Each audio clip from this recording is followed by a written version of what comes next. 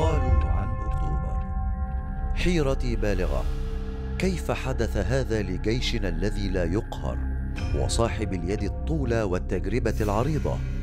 كيف وجدنا أنفسنا في هذا الموقف المخجل؟